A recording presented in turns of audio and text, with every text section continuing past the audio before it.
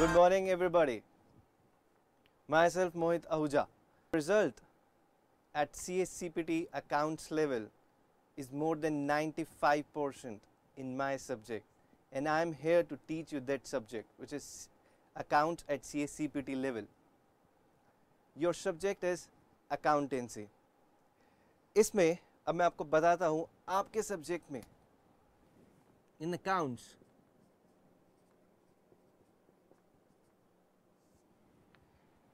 you have 14 chapters to study.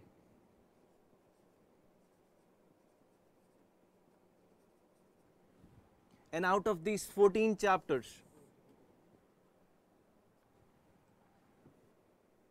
six chapters are from 11th standard,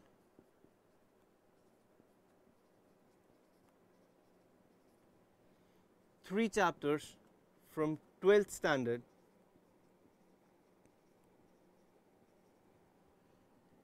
and five new chapters. इन सब chapter से जो eleventh और twelfth में है, आप बहुत अच्छे से फेमिलियर होंगे और बहुत अच्छे से आपने पढ़ाई भी करी होगी।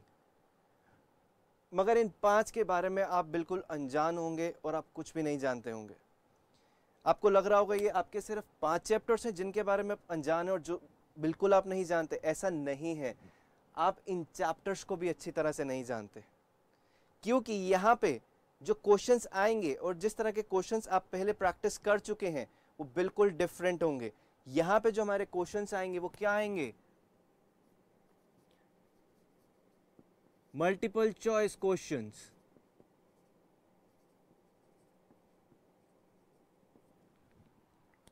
आपने इलेवेंथ और ट्वेल्थ में क्वेश्चंस किस तरह के पढ़े थे?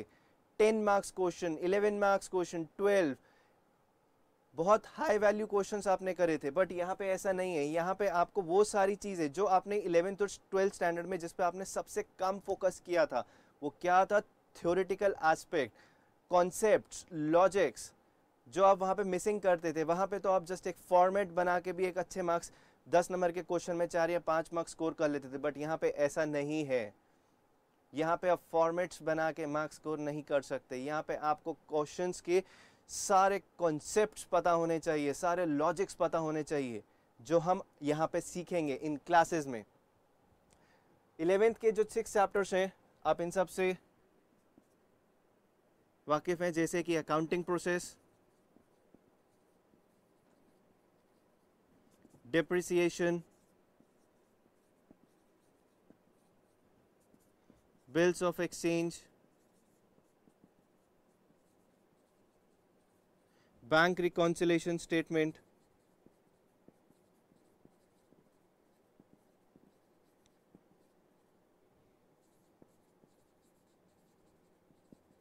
और यहाँ पे जो चैप्टर्स हैं आपके लिए, वो है पार्टनरशिप आपका सबसे मनपसंद चैप्टर पार्टनरशिप और उसके बाद एक और इशू ऑफ़ शेयर्स एक चैप्टर जो आप बिल्कुल देखना नहीं चाहते, पसंद नहीं करते, वो कौन सा है? इशू ऑफ़ डिबेंचर्स यहाँ पे हम इशू के साथ साथ रिडेम्पशन भी पढ़ेंगे. Issue and redemption of debentures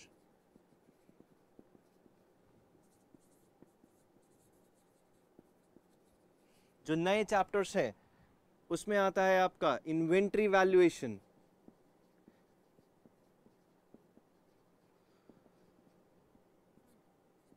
joint venture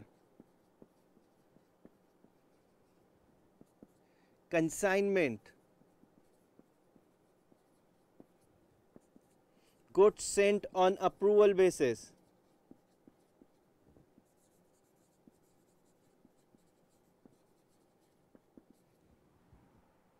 ऐसा नहीं है कि हमारे को इन चैप्टर्स की तरफ़ नहीं देखना, सिर्फ़ नए चैप्टर्स की तरफ़ देखना है।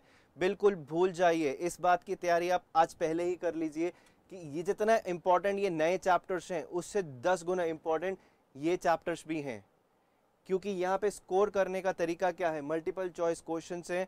इंपॉर्टेंट थिंग क्या है? कॉन्सेप्ट और लॉजिक जो आपको आज तक नहीं पता होंगे। इतने सारे कॉन्सेप्ट के बिल्कुल नहीं पता होंगे, जो हम यहाँ पे अब सीखने वाले हैं।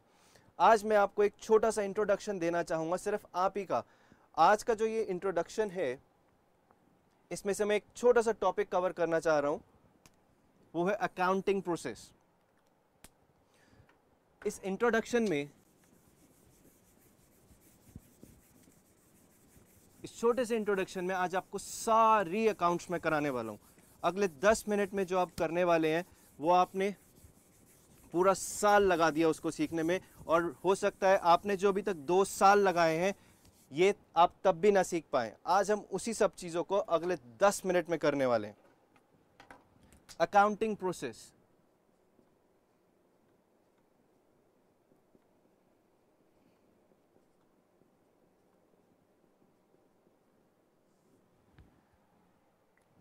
हर चीज़ का करने का एक तरीका होता है। ऐसे हमारी अकाउंट्स भी एक सिस्टमाइज तरीके से की जाती है। मानते हैं, अगर मेरे को रोटी भी बनानी है, अगर रोटी बनानी है तो क्या करना पड़ेगा?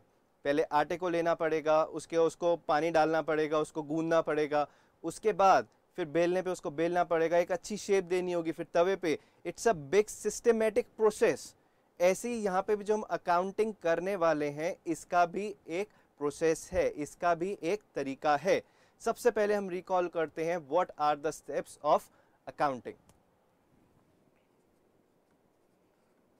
मैं उम्मीद कर रहा हूँ कि आप सब इससे बहुत अच्छी तरह से जानते होंगे। सबसे पहला स्टेप क्या है? कौन बताएगा? करेक्ट बहुत अच्छा बताया आपने। सबसे पहला स्टेप है स्टेप है identifying the financial transactions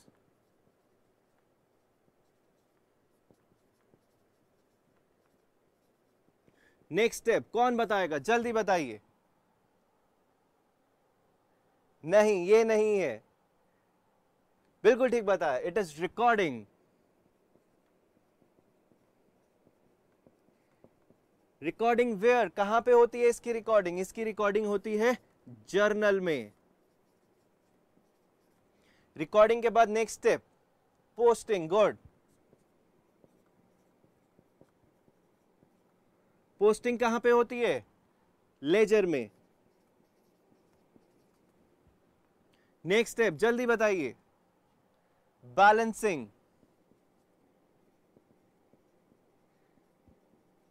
balancing कहाँ पे होती है? ट्रायल बैलेंस सारे बैलेंसेस को हम ट्रायल बैलेंस में लेके जाते हैं. And what is the last step summarising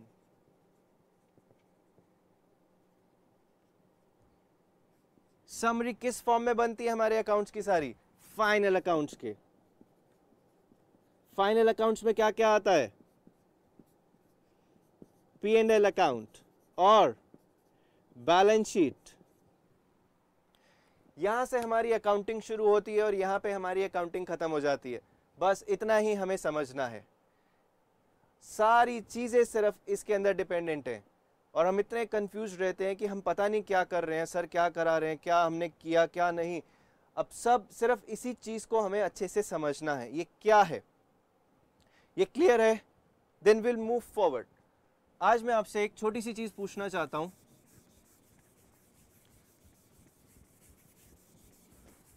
अगर मेरे को पैसा चाहिए अगर मुझे पैसा चाहिए, कहाँ से आएगा पैसा? कितने सोर्सेस से पैसा आ सकता है? नहीं, गलत, चार। नहीं there are maximum two sources from where we can arrange the finance from where we can get the money पहला सोर्स है कि मैं अपनी जेब से लगाऊँ पैसा। अगर आज मैं बिज़नेस करना चाहता हूँ तो मुझे पैसे की ज़रूरत पड़ेगी या नहीं पड़ेगी? आज हम स्टार्ट करते हैं अपनी कहानी यहाँ से। कि चलो, एक व्यक्ति है। अभी जैसे आप ही की बात कर लेते हैं, आप अभी एक बच्चे हैं, पढ़ाई कर रहे हैं, पढ़ाई करने के बाद आपका क्या फ़र्ज़ बनता है कि आप धन कमाएँ?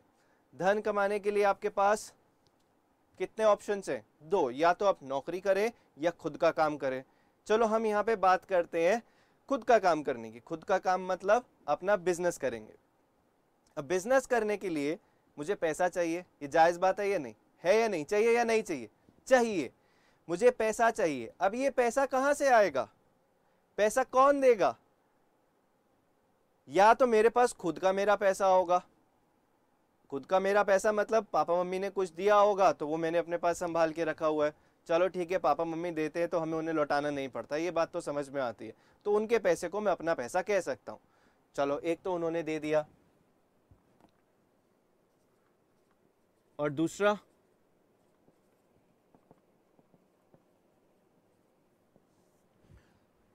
ओन मनी ठीक है? ओनर्स फंड और दूसरा पैसा कहाँ से आता है? और पैसा चाहिए। चलो, पापा मम्मी ने मना कर दिया। मैंने कहा, पापा मम्मी, मेरे को काम करना है। पापा मम्मी ने मना कर दिया। बेटा, हमारे पास तेरे लिए कोई पैसा नहीं है। तेरे पे हम, हमें तेरे पे भरोसा नहीं है। अब क्या करोगे? काम तो करना है। अब आपने क्या किया? अपने किसी जानकार व्यक्ति के पास गए। बोला, भैया, मुझे थोड़ा सा पैसा उधार दे दो। कुछ समय बाद जब मैं अच्छा सा कमा लूँगा तो आपका पैसा लौटा दूँगा। ठीक है? तो दूसरा सोर्स क्या हुआ? पहला तो आपने अपनी जेब से लगा दिया, दूसरा आपने पैसा मांग लिया। इसे क्या कहते हैं? Outside fund.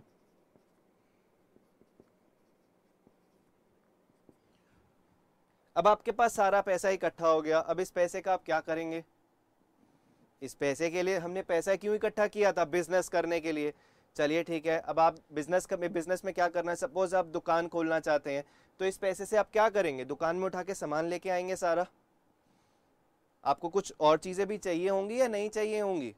जैसे, अब आप दुकान एक लगा रहे हैं, दुकान पे आपको बैठने के लिए चेयर चाहिए, आगे टेबल चाहिए, आजकल तो बिल निकालने के लिए कंप्यूटर्स चाहिए, बिना पंखे और बिना एसी के आप बैठ नहीं पाओगे। तो ये सारी क्या आइटम्स हैं? ये सारे फिक्स एसेट्स हैं। इसके अलावा दुकान चलानी है तो आपको दुकान में पहले सामान भी लाना पड़ेगा। सामान भी आएगा, उस सामान को आप बेचेंगे। समझ रहे हैं बात को? तो दो तरह की चीज़ों में आपने पैसा इन्वेस्ट किया।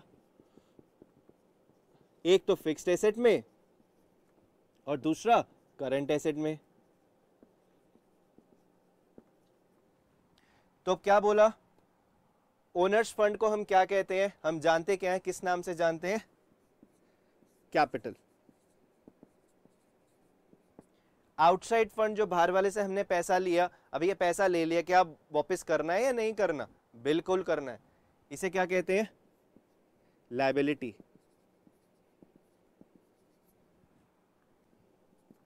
और ये क्या हुआ?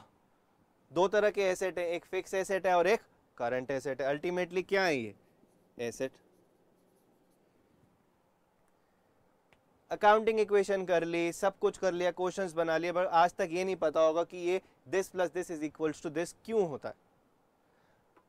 समझ में आई बात या नहीं समझ में आई? भाई ये सीधी सी बात है, दोबारा से रिपीट कर रहा हूँ, इसको समराइज कर देता हूँ। नहीं समझ में आए तो बोल देना। सीधी बात है। पैसा जो बिज़नेस में लगता है, दो सोर्सेज से लगता है। या तो मैं अपनी जेब से लगाऊँगा या पैसा मांगूँगा। तीसरा सोर्स नहीं है।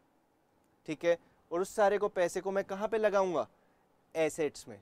तो जितना भी पैसा है, सपोज़ मैं अपनी जेब से लाया दस हज़ार रुपये और मैंने मांगे बीस हज़ार रुपये तो टोटल मैं पैसा कहाँ पे लगा दूँगा? एसेट्स में। एसेट्स में, करंट एसेट में क्या क्या आता था हमारे पास? Cash,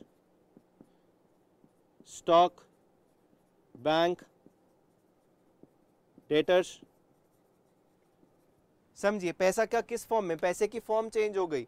या तो हम अपने पास अपने हाथ में रखेंगे पैसा, या बैंक में रखेंगे, या हम स्टॉक में लगा देंगे, या स्टॉक में हमने लगाया और उसे बेच दिया। बट डेटर्स वो लोग वो होते हैं जिन्होंने अभी पैसा नहीं दिया। तो अल्टीमेटली क्या है ये सारा? कैश ही तो है। और इसी, और ये फिक्स एसेट क्या है? इस कैश से खरीदा हुआ। तो ये सारा पैसा capital plus liabilities equals to asset अब इसी से हमारी बैलेंस शीट बनती है। बनती है या नहीं बनती? तो अल्टीमेटली करना क्या काम होता है? ये ये होता है हमारा आखिरी काम। इसी चीज़ को समझ नहीं पाते और कंफ्यूज होते रहते हैं। चलिए, अब बात करते हैं कि आप बात, आपकी बात समझ में आ रही है। आप बोलोगे, सर, ये तो समझ में आ गया। अब हमें वो डेबिट क्रेडिट का फंडा समझ में नहीं आता। डेबिट क्रेडिट क्या होता है, कैसे करना होता है, कुछ नहीं पता। सर, जनरल एंट्रीज तो कुछ नहीं पल्ले पड़ती। तो अब आपको हम उस पर भी चर्चा कर लेते हैं आज। आज आपका वो डाउट भी खत्म कर देते हैं। पहले तो सबसे पहले आप जिसको अकाउंटिंग समझते थे अकाउंटिंग तो ये जिस चीज़ को पूरा अकाउंट्स कहते थे, आज उसे हम 10 मिनट में खत्म करने वाले हैं।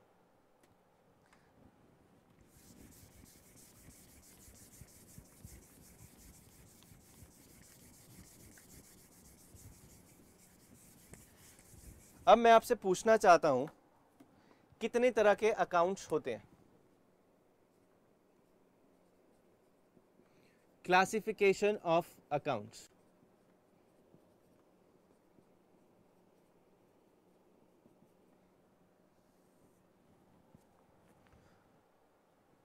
there are maximum five number of accounts.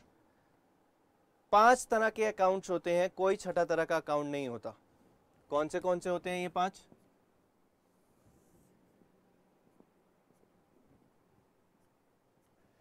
पहला होता है कैपिटल?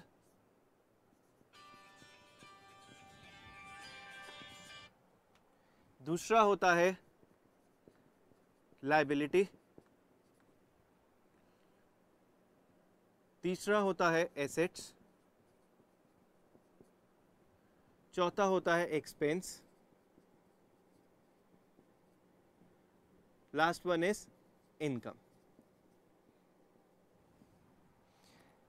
कहने का मतलब है, हमारे जितने भी अकाउंट्स होंगे, जितने भी हम आगे जाएँगे, जितनी भी चीज़ें देखेंगे, सारी की सारी इन पाँच के अंदर समा जाएँगी। वैसे तो समुद्र एक ही होता है और बहुत सारी नदियाँ समा जाती हैं बट हमारे पास यहाँ पे पाँच है। पाँच समुद्र कह लो। पाँच समुद्र हैं, इनमें हमारे सारी नदियाँ सारी नदियाँ यहाँ पे क्या है, हमारे सारे अकाउंट्स सब इसमें समा जाएँगे। कुछ छठा हमारा समुद्र नहीं है। कितने समुद्र हो गए हमारे? पाँच समुद्र। और ये, इसके अंदर सारी नदियाँ समाएँगी। अब बात समझते हैं, कैपिटल के लिए मैं आपको बोलता हूँ, इसको कहते हैं क्रेडिट बैलेंस। कैपिटल का होता है क्रेडिट बैलेंस। लाइबिलिटी का क्या होता है? Credit balance. एसेट्स का क्या होता है? Debit balance. एक्सपेंस का क्या होता है? Debit balance. इनकम का क्या होता है? Credit balance. बिल्कुल ठीक बताया आपने। अब इस बैलेंस का मतलब क्या हुआ? इसका मतलब ये हुआ कि ये जो कैपिटल है, दो ही टर्म है, डेबिट और क्रेडिट। अगर आप मेरे से आज पूछ लेंगे, डेबिट और क्रेडिट क्या होता है तो मेरे पास इसका कोई जवाब नहीं है। डेबिट और क्रेडिट क्या होता है, मुझे नहीं पता। आप कहोगे ऐसी कैसी बात हो गई, सर? डेबिट और क्रेडिट दो टर्म्स हैं जो हम पूरी अकाउंट्स करने के लिए यूज़ करेंगे। आज हम जो डेबिट और क्रेडिट का मतलब है, वो है ये। कैपिटल का क्रेडिट बैलेंस लाइबिलिटी का क्रेडिट बैलेंस एसेट का डेबिट बैलेंस एक्सपेंस का डेबिट बैलेंस और इनकम का क्रेडिट बैलेंस। ये है डेबिट और क्रेडिट का मतलब। कुछ आइटम्स के क्रेडिट बैलेंस होते हैं और कुछ के डेबिट। कौन सी कौन सी हैं? इन पाँच समुद्र में से तीन के तो हमारे क्रेडिट बैलेंस हैं और दो के डेबिट बैलेंस है। अब इस समुद्र में जितनी भी नदियाँ आएँगी या इनके अंडर जितने भी अकाउंट्स आएँगे, उनके वही बैलेंसेस रह जाएँगे, वही बैलेंसेस बन जाएँगे। क्रेडिट बैलेंस का मतलब होता है कि ये जो कैपिटल है, क्रेडिट साइड में इंक्रीज करता है। इसका मतलब हुआ, जिसका जो बैलेंस है, वो चीज़ उस साइड में इंक्रीज करेगी। जैसे कैपिटल का क्रेडिट बैलेंस है, इसका मतलब क्या हुआ? ये क्रेडिट साइड में इंक्रीज करेगा। लाइबिलिटी की बात करते हैं। लाइबिलिटी का क्या बैलेंस है? क्रेडिट बैलेंस तो ये किस साइड में इंक्रीज करेगा? क्रेडिट साइड में। एसेट बैलेंस सॉरी एसेट का क्या है? डेबिट बैलेंस डेबिट बैलेंस का मतलब क्या है? ये डेबिट साइड पे इंक्रीज करेगा। जिसका जो बैलेंस है, वो उस साइड पे इंक्रीज करेगा। एक्सपेंस का क्या बैलेंस है? डेबिट। ये डेबिट साइड इंक्रीज करेगा। इनकम का क्या बैलेंस है? क्रेडिट। ये क्रेडिट साइड पे इंक्रीज करेगा। बात समझ में आ गई?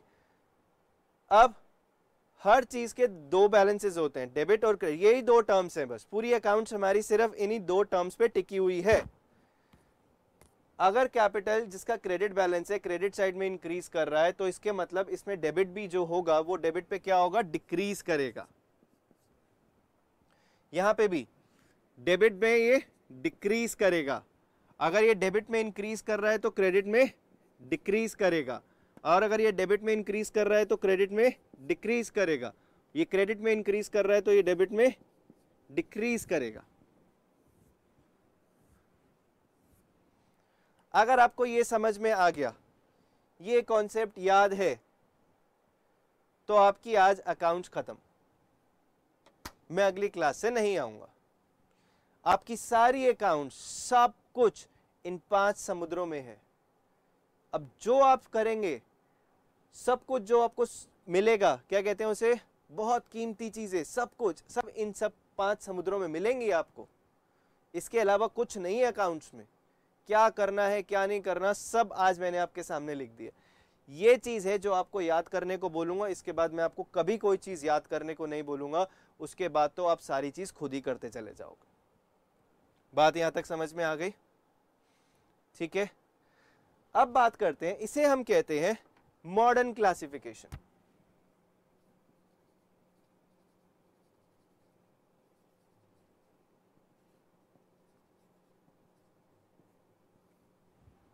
इसे हम कहते हैं मॉडर्न क्लासिफिकेशन एक और क्लासिफिकेशन है। हमारे लिए यह मैं आप लोगों को बता दूँ, आपके लिए, यहाँ तक समझ लेना बहुत है। इसको अगर समझ लिया, ये दिमाग में बैठ गई, ये समझ में आ गया तो आपके अकाउंट्स के लिए आपको कुछ करना बाकी नहीं है। फिर तो सिर्फ़ इन्हीं चीज़ों को आप यही पूछते हो ना अकाउंट्स में क्या है? अकाउंट्स में क्या होता है? डेबिट और क्रेडिट अगर आपको ये पता कि भाई किसको डेबिट करना है, किसको क्रेडिट करना है तो फिर बचा ही क्या अकाउंट्स में? फिर तो कुछ बचा ही नहीं। बच्चे यही कंफ्यूज रहते हैं कि, सर डेबिट इसको इसको आपने डेबिट क्यों कर दिया? इसको आपने क्रेडिट क्यों कर दिया? अब मैं क्या बताऊँ भाई? आपको ये चीज़ नहीं पता तो आप मेरे से पूछते ही रहोगे एंड तक। मैं चाहता हूँ आप इस चीज़ को आज यहीं पर ही ख़त्म कर दें। अब मेरे से कभी नहीं पूछेंगे कि डेबिट क्यों कर दिया और क्रेडिट क्यों कर दिया। ये आपको समझनी है बात। चलिए, आगे बढ़ते हैं अब। एक और क्लासिफिकेशन आता है, जिसे हम कहते हैं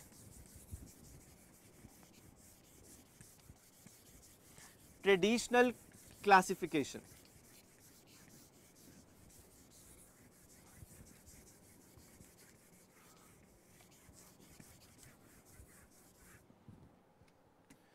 ट्रेडिशनल क्लासिफिकेशन क्या कहता है? वो कहता है कि there are three types of accounts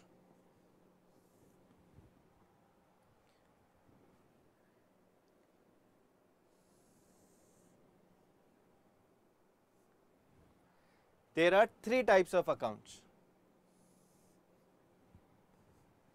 real personal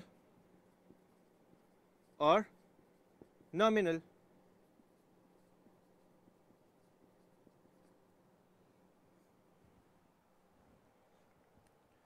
Real में क्या क्या आता है? It includes all assets accounts related to assets हमने क्या देखा था? एक चीज़ समझी थी, पूरा बिज़नेस क्या है? Capital plus liabilities is equals to asset हमारी सारी अकाउंटिंग कहाँ पे जाके खत्म हो जाती है? Capital plus assets is equals to sorry capital plus liabilities is equals to assets हमारी सारी अकाउंटिंग वहाँ पे खत्म हो जाती है। अब वही तीन में सारे ये अकाउंट्स हैं। रियल में आते हैं सारे एसेट्स पर्सनल में हम बात कर सकते हैं। पर्सनल की आगे एक ब्रांच और आती है जिसे हम कहते हैं पर्सनल में एक एक नेचुरल पर्सन हो सकता है। एक आर्टिफिशियल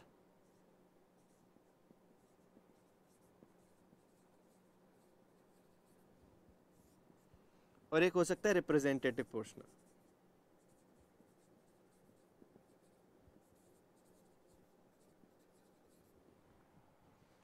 नॉमिनल मतलब incomes and expenses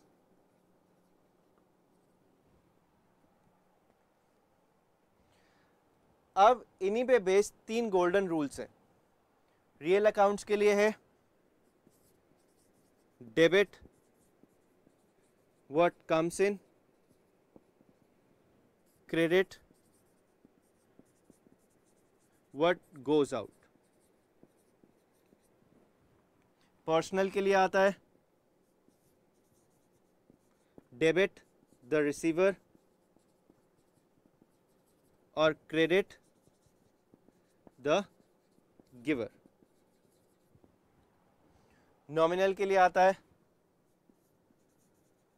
Debit, all expenses, credit, all incomes